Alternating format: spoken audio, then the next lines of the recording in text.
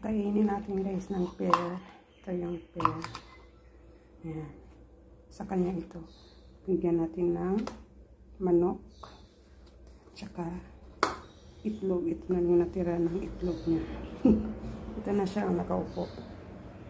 Big girl ha. We are I'm making our food. Ito na.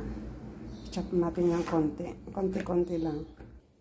Ayan, na-chop ko na.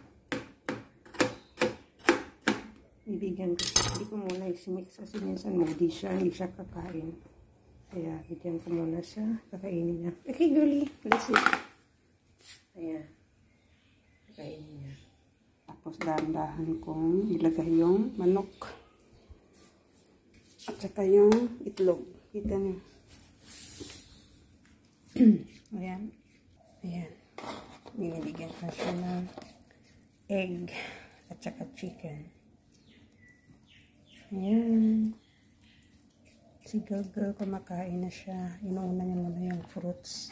Special kasi pear fruits. Ayan. Hindi ko muna bibigyan yung food niya. At saka ito minimix ko. Yung ganito. Kasi minsan ihiba ko. Minsan moody ayaw niyang kumain. Gusto niya yung fruits. At saka yung egg. Tapos yung chicken. Ayan, naubos na na yung pear.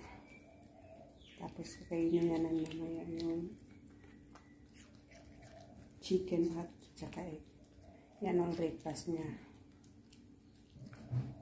Ayan.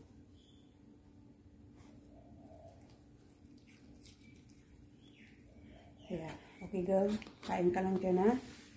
Mamaya, mag-walking tayo. Sa gabi naman ito. Sa gabi ko ikapakain sa kanya itong dog food. At saka i-mix-mix ko rin. At saka ito. Okay guys, that's it for today. That's it for today's vlog.